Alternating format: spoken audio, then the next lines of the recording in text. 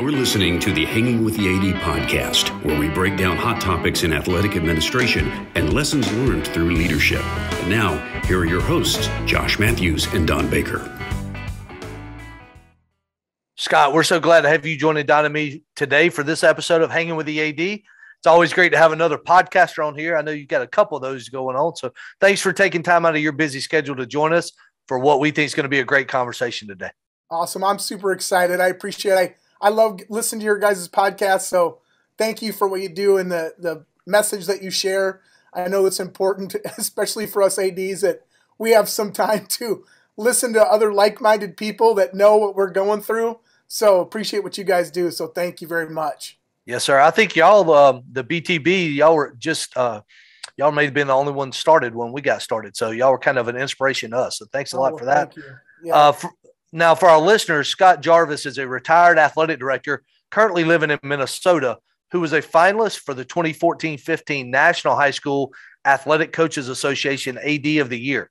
He was also named 2015 16 Iowa High School AD Association Central Iowa AD of the Year, as well as re- receiving the Iowa ADA Distinguished Service Award on two different occasions and he was also named the NFHS Citation Award winner from the state of Iowa. As you can see, he may be in Minnesota now, but he spent a long career there serving as an AD in Iowa. But we're going to stop right there and let Scott tell us a bit more about his journey uh, through a career in athletics. Scott, we call it the back of the baseball card bio. So if you care, oh, yeah. share a little bit what the back of Scott Garvis's baseball card might look like. Oh gosh, the, the statistics are not great. So uh, it, it, was a very short lived, like a batting below the, the 200 line. So, no, I've been super blessed uh, throughout my career to, to work with some great people. Um, actually, started out when I was in college, I wanted to be a lawyer, if you can believe that, uh, which is kind of crazy. I got my degree in political science. So it was, uh, my coaches actually asked me to stay on and help coach. Uh, uh, so I coached at the college level for a number of years. And then actually got into being an athletic administrator and a head football coach at a high school at a very small school in northeast Iowa. So had the opportunity to be the AD there for four years. Um, then moved to Muscatine, uh, Iowa, where I was a, a athletic director uh, at a 4A school in Iowa, which is one of the, the largest classes.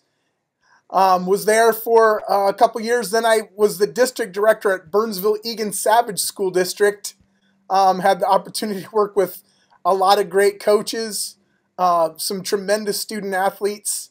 Um, and then my travels led me to Seattle, Washington, wow. where I was the senior director of athletics at Eastside Catholic. Uh, again, uh, worked with a bunch of great coaches, a bunch of great student athletes. Loved my time in Seattle. Um, then we moved back. We moved to Iowa, and I was the athletic director at Newton and then uh, my last stop was at Ankeny Centennial High School um, in the Des Moines metro area. So I've been super blessed. The one thing that I've cherished the most throughout my career has just been the, the connections and the relationships I've been able to develop over that time, uh, whether it was with student athletes, coaches.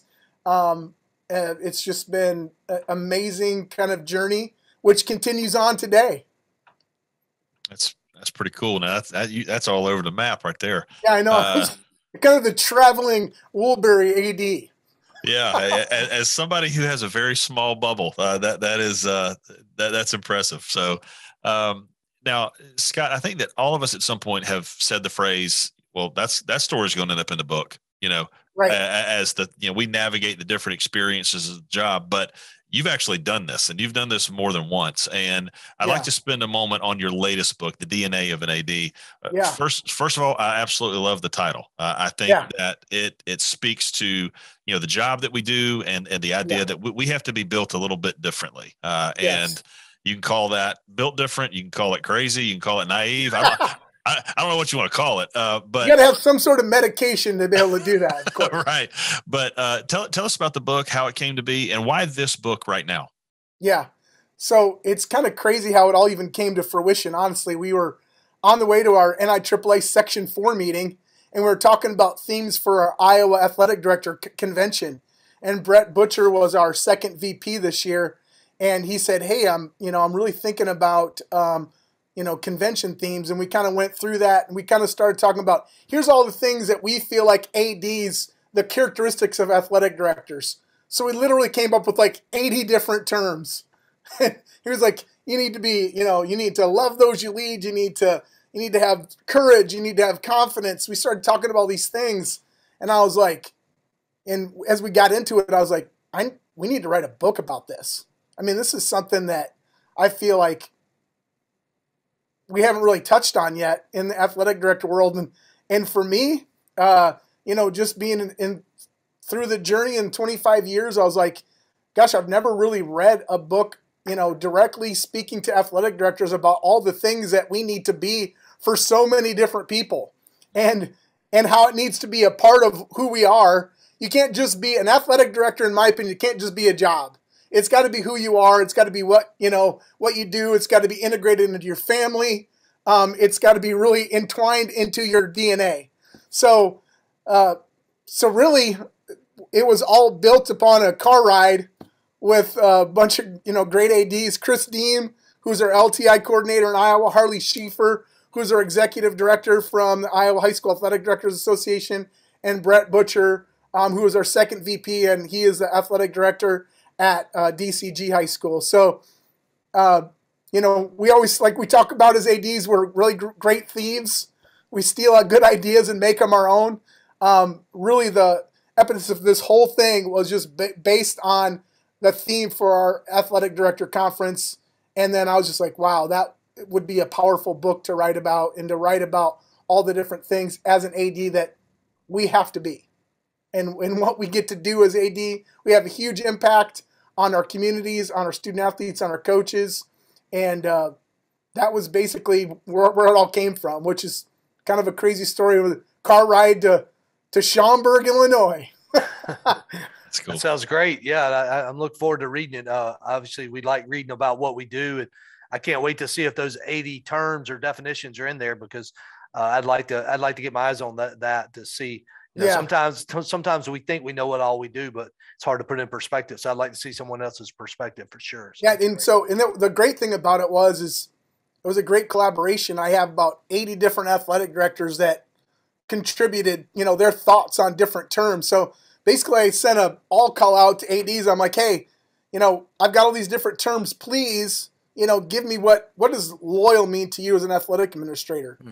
And then you know, I got like two to four sentences on that. So I incorporated that into the book too. So I got a lot of great perspectives from great athletic directors, not only from the United States, but also some of our international ads. So uh, that was really fun. And for me, it was fun just to get to see, like you talked about, was just get to see all the different perspectives from athletic directors, um, not only across the country but across the world.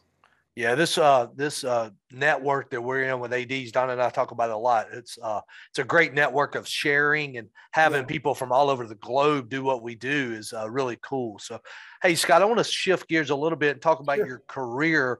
Um, yeah. You know, one thing I noticed you made a, and you mentioned this in your uh, intro there, your baseball card bio.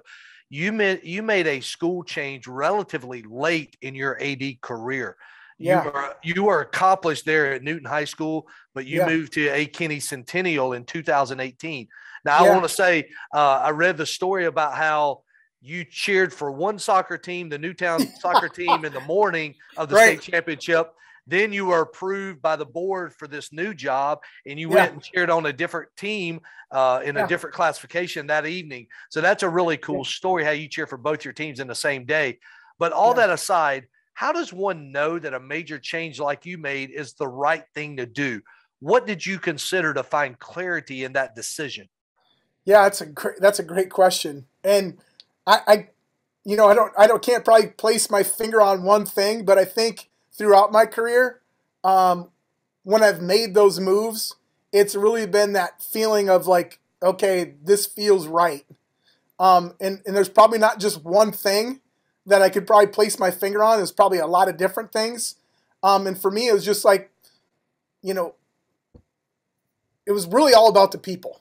I mean, if if we're just gonna get down to the core of it, when I met, um, you know, either the person I was gonna be working with as a principal or you know district administration uh, meeting with the coaches. I just got that feeling like I feel like this is a right place for me right now.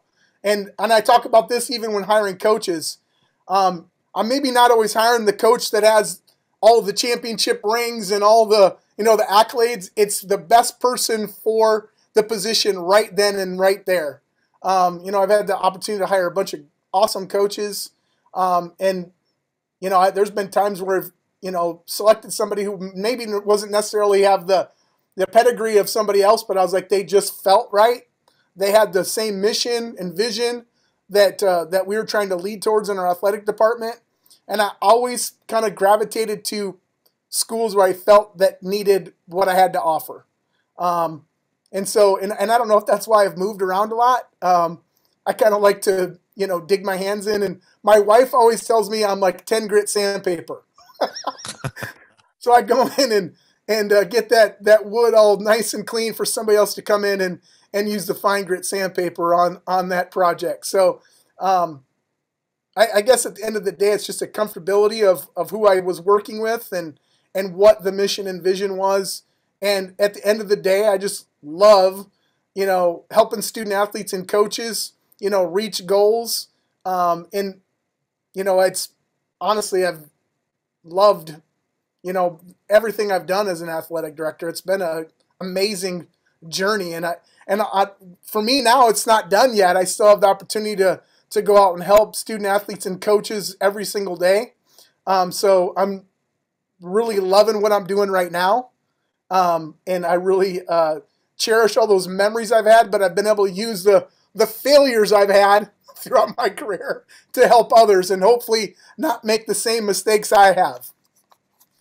That's great. And, and I, you know, we tell our, we tell people all the time on here, we typically, typically, uh, most of the time we don't give the guests the questions in advance. So you guys don't really know like what we're going to ask and, and it never fails as you guys talk, you lead right into the next one, and, and you and right. you just and you just did that. So, yeah. Um, now, I read a blog post of yours where you said, as an athletic administrator, our work provides us the opportunity to show the wide range and depth of our abilities, which I think yeah. that alone, that's that's a really good point. This idea of betting on ourselves.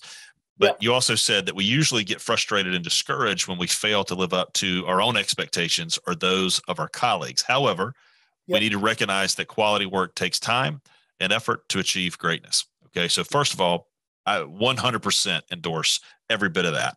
Um, yeah. I think that every AD can relate to that quote. And specifically in that post, you wrote about the many failures of Abraham Lincoln, uh, how yeah. he was able to, to use those to grow.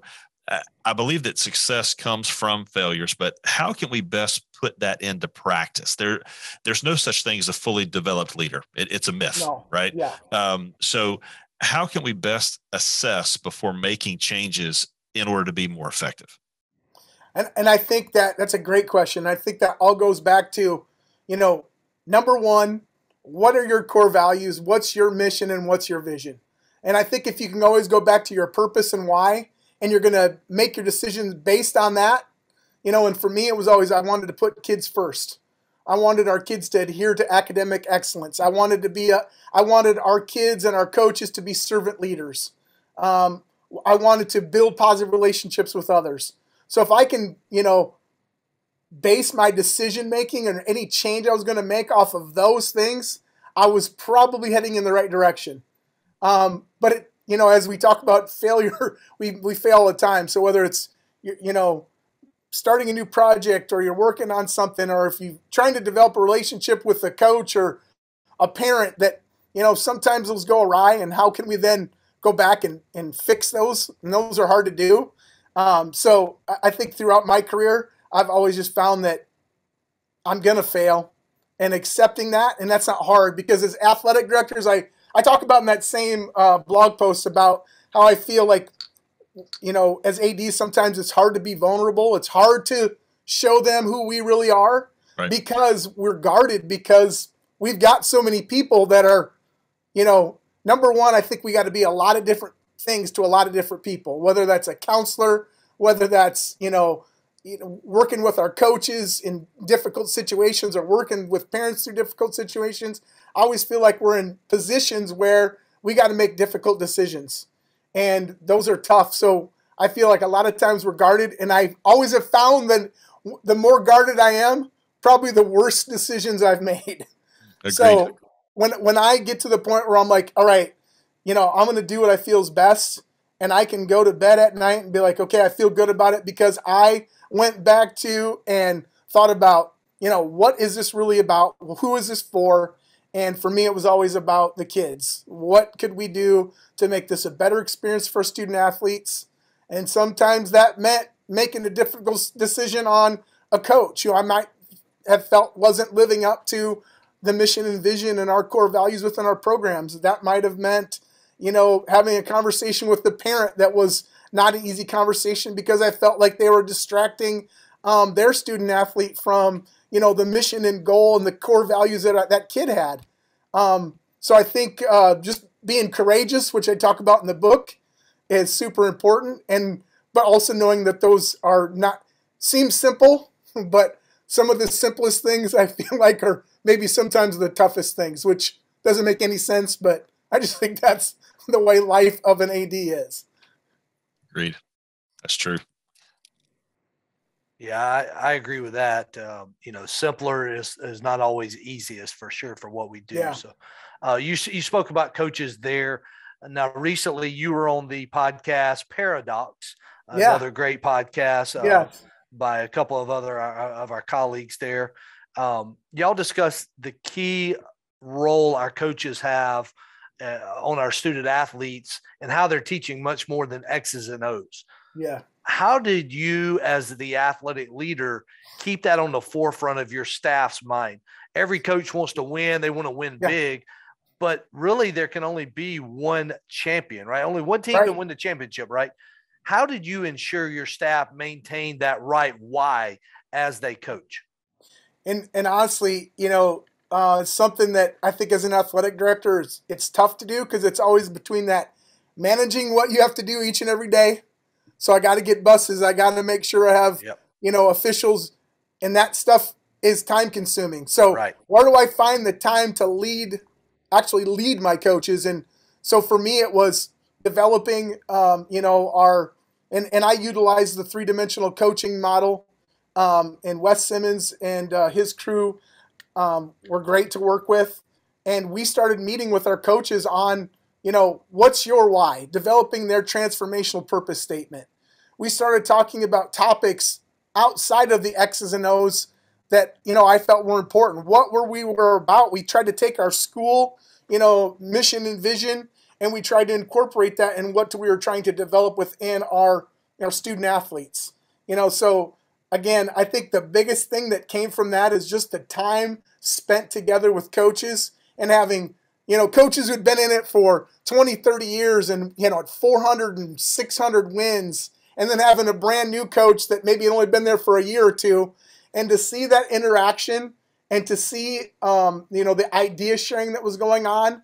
And I literally just facilitated those discussions.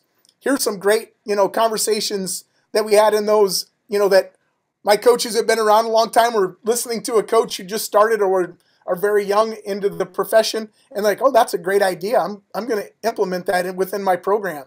So I, I think we probably don't spend enough time getting our coaches together and just having some facilitated facilitated discussions about why do we do what we do, you know, and then taking a topic and be like, all right, we're going to talk about sportsmanship today. What have you guys done within your programs to promote that? What have we, you know, done in our programs to develop trust between coaches and student athletes? And I know that you know we want to win. Coaches want to win. Athletic directors want to win. But at the end of the day, um, I think athletics and activities are just a great platform to teach kids life skills, and that is what you know kind of gave me that my passion and purpose was just to help our coaches help our student athletes, you know, run after, stretch to, you know, jump towards success in whatever they did. And I know that we could develop some of those, you know, and and not only develop those leadership skills, but then also provide them a platform. Hey, it's okay to fail. And when you fail, you know, I'm here as athletic director. We have coaches here that care about and love you, and we want to make sure that we take care of you. And we're going to teach you it's okay to fail. And then, bam, we're going to give you life lessons that now I've made some mistakes and now I've learned from them and I've grown. And that's all in an environment where I feel like our kids can, you know, kind of be in a vacuum a little bit. Um, but when they go on and they got a job of their own and family, you know, then the stakes are a little bit higher. So how can we get them, you know, ahead of the game before they even leave us um, as as athletic administrators? And I feel like our coaches um, have huge impact in that area. That's so good. It, yeah, I think you mentioned something that that guest after guest after guest on here. Uh, this idea about being intentional. Uh, like yeah. you've got to, you have to be intentional. It, excellence equals intention like and, and vice versa like they they go hand in hand yesterday josh and i had the opportunity to tour uh, the university of georgia's brand new athletic facility and they you know multi-million dollar facility and it, they were intentional about the stitching they used in the team room seats because yeah. the effect that sweat would have on a certain color stitch, it would discolor it. And like, right. I mean, who who thinks you know? Granted, I mean they're paying right. people to think for them, but right. at, the same, at, at, the same, time, like the the intention to to do that, you know, um, equals that excellence. And yeah. kind of to piggyback on that a little bit, another article of yours detailed the 10 critical competencies of great athletic administrators. And in that article, one of those competencies was the develop developing other people, developing others. Yeah. The idea of not just utilizing others to reach your goals, but developing the people around you. You just kind of kind of touched on that a little bit. What would you say you know to the AD who's looking to better develop their staff, or selfishly, uh, someone who is in my position of leading other athletic directors. Oh, yeah. Where do you, where do you feel you get the most bang for your buck when developing other people? You know, one of one of a great mentor of mine, and I talk about him in my new book, is Chuck Van Heck, and he was my principal when I went to Muscatine High School, and you know, the one thing that he was on me about all the time was like, get out with the kids, get out with the coaches don't be just sitting in your office behind the desk. You know, I know that we've got a million things to do, and that's hard to do at times. But we talk about that intention, and we talk about how we go out and develop. We cannot develop our ADs and our student athletes if we're not out there with them and taking that time to be intentional. And you know, we I had a student athletic advisory council, which I actually absolutely love to do um, to help develop our student athletes because it provided me the opportunity to you know, I was an old coach, so it provided me the opportunity to, to, to kind of be a coach. Maybe not necessarily in the sport, but you know, about hey, here's what, what here's what life is like, and we're gonna face, you know, you're not gonna always get to start. You're not always gonna be the leading scorer. You're not always gonna. So what can be your role? What can your role be within your team? Same with our coaches. Hey, you know, I've a lot of coaches that I thought were awesome coaches that had terrible records. So how do we sit down and talk our coaches through that? And I think it all goes back to focusing on our why and our our purpose for what we do. Um, I've had two coaches that I think of in particular that were absolutely amazing coaches. X's and O's, you know, the three-dimensional coach. They they had the fundamentals, they had the, the ability to motivate kids, and they could capture their hearts. And I think that's you know, very rare in a coach. Uh, I, I think a lot of coaches have two of those dimensions, but maybe always maybe miss that. And I, I feel like there's 10% of people who can reach that, you know, kind of the, you know, the mountain of being a coach and being able to kind of fulfill those three roles for our student athletes. And uh, it's and, and as we know, finding quality coaches is really tough right now. Very. Um, so, what can we do then to develop them so that they want to stay? And we can help them, you know, kind of fight through some of those struggles in being a head coach because it's not we're not sitting in a classroom and just giving out a grade, you know. What we do is on the front page of the newspaper and if something goes really bad, you're on the front page of the newspaper, you're on TV, you're and it looks bad for us. So, what can we do to help our coaches through those struggles? And I think that's at the end of the day, it's the time spent with others that develops others. So, you know, I've had an absolutely uh, awesome year this year being able to talk to athletic directors from across the country and talk about these very things. And, you know, it's been um, really rewarding for me to be able to not only help my school, but now help other schools, help other directors, athletic directors in other states and other countries. Um, that's been an amazing opportunity that I don't know that I would have the opportunity to have unless I really screwed up a lot. so I'm taking advantage of all the things I've screwed up on to hopefully help others. That's great. Yeah, that's great. Uh, great lessons to learn by. A lot of times yeah. we want to learn from the good, but uh, I think uh, I saw a quote yesterday. It's easier to learn from failure than success. Success is not a good teacher sometimes. So isn't that great. crazy? How I, I yeah. just was I, I, was talking to a, a, a guy who does motivational speaking, and he goes, "The best you know speaking engagement I ever had was talking about you know my 12 failures and most engagement and and I was just like and I thought about it for a little bit. I'm like, man, he is completely right. You know, when when when you're at a convention, you're at a like. So I was a football coach. So we go and football coach talking about, man, I just won a state championship, and here's my team, and I ran these plays, and I'm like, holy cow, look at those kids he has. I, I'd never be able to do that, or I can't run that play. So I'd rather learn from you know. And I just thought about it myself. I'm like, man, I'm going to probably learn a lot more from my own failures or other failures than I am from somebody who's doing it, you know, is a state champion and has done, you know, not everything right, but I want to know the people who are struggling and how they're getting over that. So I want to know the coach or the AD who came into a situation was like, man, I didn't know what to do, and well, here's the path that I took to get there. Those are the stories I want to hear. Yes, sir. That's right. All right, Scott. We discussed uh, earlier that you have a, a, new book out, the DNA of an A, or the yeah, yeah, the DNA of an AD. But I wanted to kind of put a excuse me, I wanted to put a cap on this conversation today by touching on another book you've written on the topic of fundraising. Yeah. Uh, now more than ever, schools are looking to ways, uh, looking for ways to fill financial holes in their budgets as they try to bridge that gap for, between what we want and what we need, and how do we get there. So, how should athletic leaders best look to improve in the space of fundraising? So, I will say this: I have a lot of. I just was on earlier today on a call, and an AD goes, "I'm not a salesperson," and I'm like, "Either am I."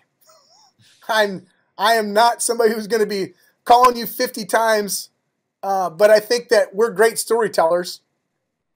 And what better story to tell to help support your student athletes than the stories of your students? Um, I don't think it needs to be about being a salesperson.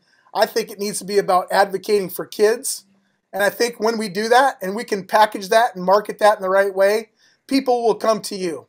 Um, I, I, mean, every single day, I think as ADs, we need to do a better job of telling our story because I think that story that our students are facing every single day is compelling.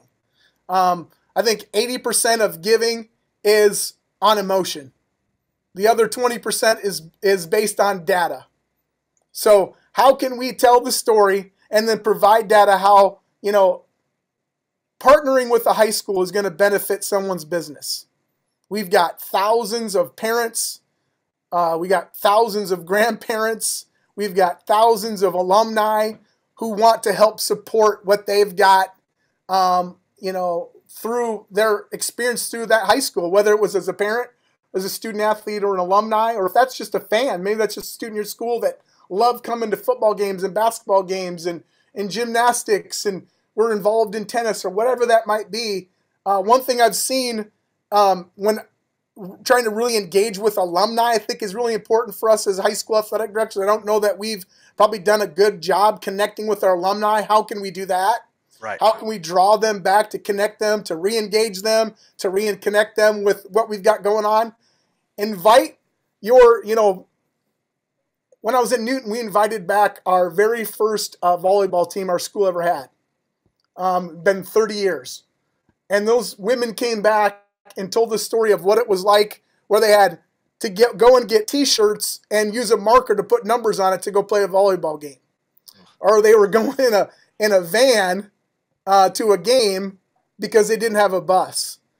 Uh, I think that uh, number one, we can connect and engage with them like – we brought those women back and they said, hey, how can we help? So the weather, we're looking for a good coach that's invested in your community. Maybe we can pull some alumni back. Hey, maybe it's like, hey, what can I do to help? Hey, we're trying to bring our girls to a camp this summer, but we just don't have the money. Hey, I'm going to get the the you know the other people that were on my team together, and we're going to come up with some money, you know, for you for those girls to go out and do that. Do you need new uniforms? Whatever that looks like, I think telling our story at the end of the day, and then coming up with some of that data like, hey, we've got, you know, 7,000 people following our Twitter account.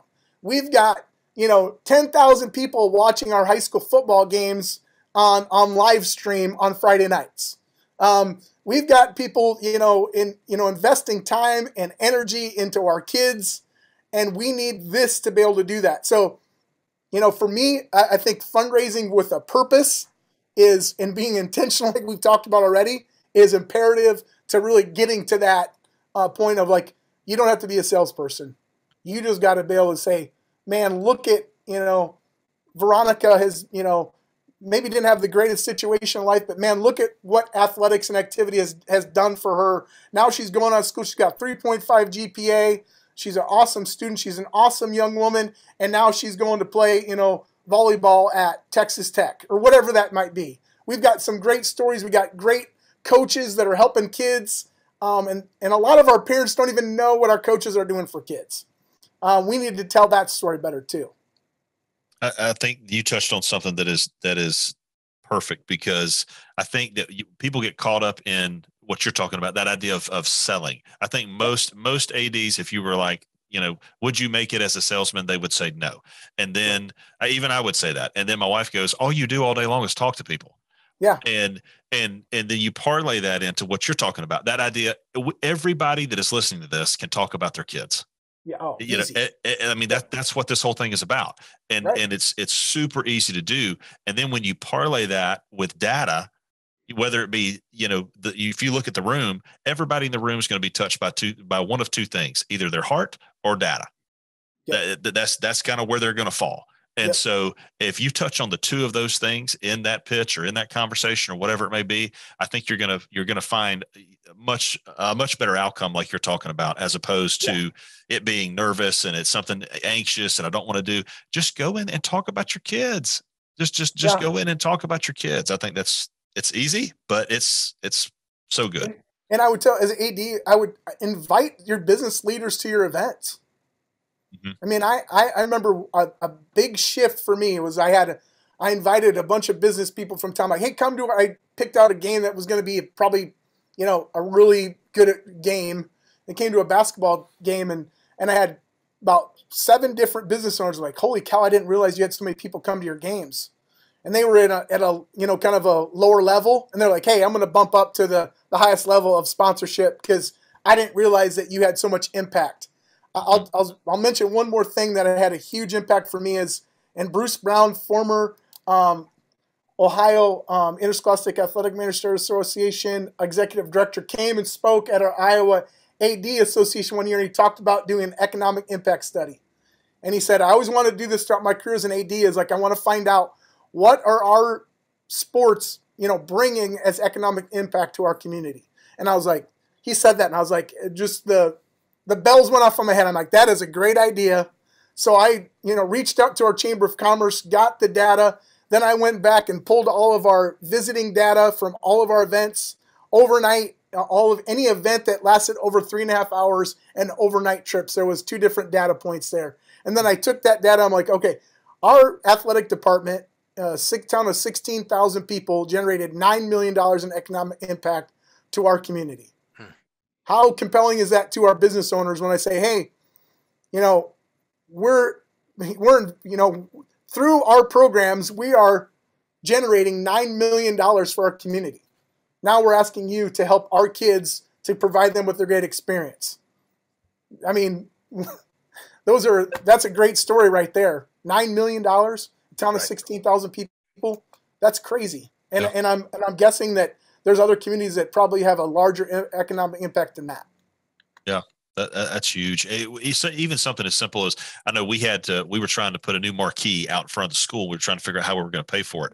We we got the the city to kind of help us, and we did a traffic study to go. Yeah. You know, it was a major, it was a pretty busy road, and we were yeah. able to go out and go listen. Uh, I don't know if uh, forty five thousand people are going to see the front of this thing every single day. You know, right. to be able to like you don't realize that until you put in the time, and then that comes back, and like you're like nine million dollars. Like, uh, holy cow! You know, you didn't yeah. even realize that's what you were doing. You were just too. Right. You were kind of get lost in the work, and then it yeah. ends up being very beneficial. Yeah, and, and, and I and one other thing I would tell you these too is like we've got you know Facebook selling ads, Twitter selling ads, and you've got those Facebook and Twitter assets that you utilize. Man, go and tell people like we had you know 1 million views on our Twitter account last month. People are paying 20 40 dollars per thousand views mm-hmm. to, to get that kind of exposure. How about steal some of that money from Twitter and Facebook? They don't need that money, but but your kids do. Your kids need that. Oh, that's so good. Uh, Scott, thank you so much for kind of hanging out with us. We're going to kind of oh, transition oh, into uh, the the back half of what we call the two minute drill. All right, yeah. so uh, we're going to hit you with some rapid fire questions. We want you to just tell us okay. first thing that comes to your mind. Okay. Okay. What was the first job you ever had ever? Oh gosh, uh, I I was a little kid. I actually collected baseball cards and football cards, and I actually put uh, ads in national papers, and I was selling baseball cards and football cards through the mail when I was a little kid. My dad still makes fun of me to this day. I'd have people calling our house from Florida, New York, all over the place. I'm selling baseball and football cards as like a 10 year old, bringing a suitcase or a briefcase with me to school, thinking I'm, you know, a mogul or something. Oh, so I don't know if that considered me my first job, but I'm just going to go ahead and tell you that is the best answer we've ever received with that question. Like you were eBay before eBay. Like that's right, that's yeah. that is I was awesome. just a little crazy little kid. That's funny. Early entrepreneur there. Right. Yeah. What was your first car? Oh geez. Uh, I had a 1972. It was a green. It was an army van that my dad bought, and that was my first car. And it still had. It was probably illegal, but it said still had U.S. Army and had all the numbers underneath it and I'm sure you probably weren't supposed to do that, but that was my first car. Yeah, the, the chicks dug it, I'm sure. That's awesome. Uh, what is the most difficult part of writing a book? Oh gosh, I, I think it's I think it's just a consistency of finding time to do it, and then actually just getting down to it. And there'd be some days I'd be like, I can't do it today, and there'd be like I remember a, a lot of weekends I'd be here in my office and I was like, "What are you doing?" I was like, "Well, I just spent ten hours writing on my book today. It just kind of flowed." Yeah. Um, but I think I just saw something yesterday. Like, if you sit and just think about something for at least 17 seconds, you're and, and not talk or not be distracted and just have 17 seconds to think about what you're going to do.